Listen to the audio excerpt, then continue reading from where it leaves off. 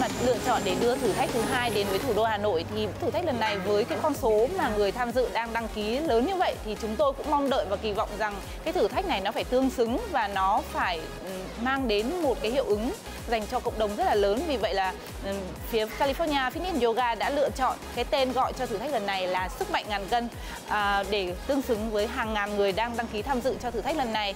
Và à, người thi sẽ có một cái luật chơi rất là đơn giản. Người chơi sẽ cố gắng ôm được cả càng nhiều vàng càng tốt và chạy thật nhanh về vị trí quy định xếp vàng lên cân. Mỗi khối vàng có trọng lượng là 1,5 kg. Mỗi người sẽ có một phút để thực hiện phần thi và kết quả ghi nhận sẽ là tổng số cân nặng của khối vàng mà người chơi xếp được.